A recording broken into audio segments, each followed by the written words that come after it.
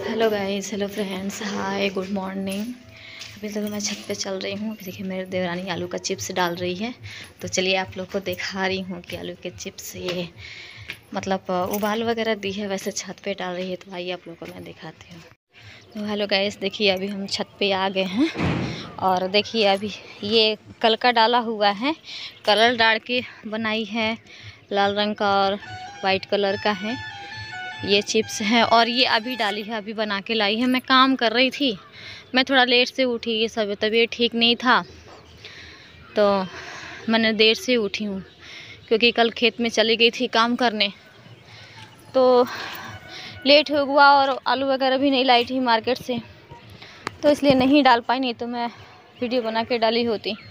तो अभी देखिए, ये कुछ हल्का फुल्का डिज़ाइन भी वाला डाली है चिप्स और प्लेन सादा वाला भी है।